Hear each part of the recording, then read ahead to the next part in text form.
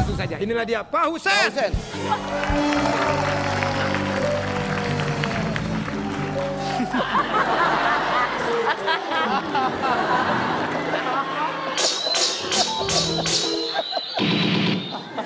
Pak Husen. Oh, Pak Husen. Pak Betul ya, ini yang bekerja di sana. Seperti Bu Sarah. Iya, iya. Oh iya. Semenjak rumahnya belum dibangun, saya udah kerja. Ya, boleh. Bang Husen, semenjak dipanggil ke sini dikasih makan apa jadi lebih tinggi daripada ya. biasanya? Enggak, ini saya tegak-tegakin aslinya saya segini, Pak. Es ekspresi mirip Pak Husen sehat. Rajata sudah di rumah? Sudah, sudah, Aman ya dari Aman. sekolah ya? Ajudannya Rajata katanya. Enggak, saya ngurus-ngurus aja. Biasa ngerjain apa di rumah? Saya Nah. ngerjain PR. boleh. Rajata bikin PR sendiri. Rajata bikin PR sendiri ya. Ya, enggak saya bantuin. Oh iya. Saya ini termasuk orang kepercayaannya Ibu Sarah. Kalau ada barang handphone hilang, dia percaya kalau saya ngambil.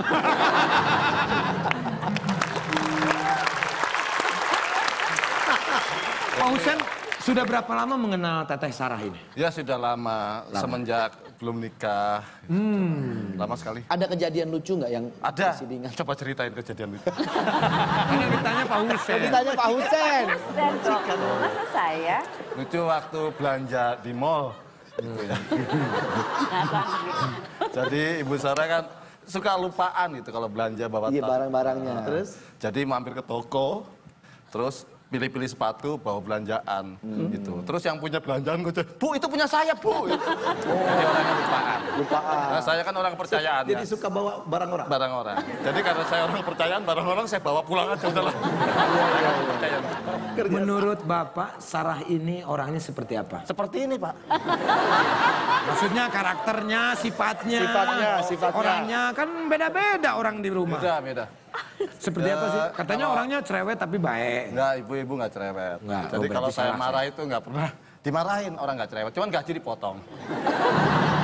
Oh, dipotong uangnya apa gimana? Gajinya? Gajinya. Oh, gajinya. Cuma besok ditambahin gitu. Uh, baik berarti kalau Cuma begitu. di misalkan gaji 10.000 ribu, bulan ini dipotong 2.000 ribu, besok ditambahin 1.000 gitu. Oh.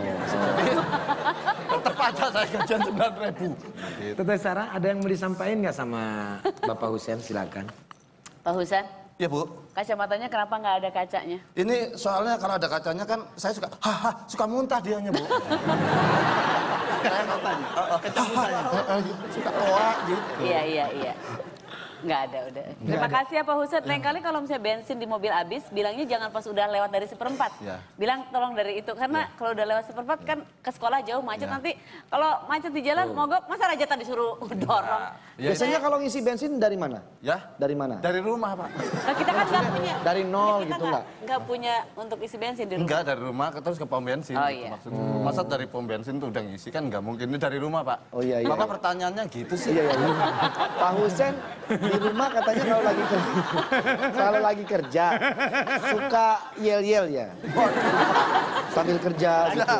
Iya suka, suka. Suka ya, Ini anak saya? Pak Husen kalau lagi nganter Rajata ke sekolah, pulang sekolah. Dia yel-yel dulu di depan mau pulang mobil. kan jam 5, sudah sudah selesai kerja, habis cuci mobil, yel-yel dulu. Yel-yel Pak Husen yang Nih, gitu. disuruh juragannya. Yang di depan ban Suruh mobil juragannya. itu. Coba juragannya biar Kan habis dengar. bersihin ban mobil. Ya, ya. Saya tiap pagi yel yel terus kok pak. Oh iya ya. Ya. Gimana sih ya kalau mau nganter sekolah? Ya. yang ini aja, yang habis cuci mobil aja, yang habis cuci mobil. Habis cuci mobil aja lebih bagus, yang pakai akrobat itu loh. Iya, iya. Soko, soko, sok. Ada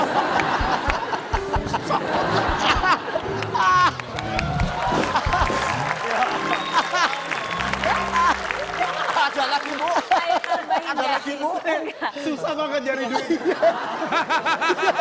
Ada lagi, Bu. Udah cukup. Ada lagi?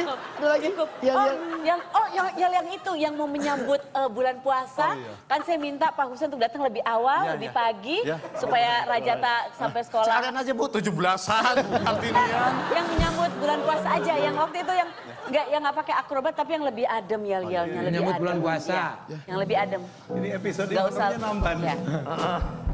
Sucikan diri.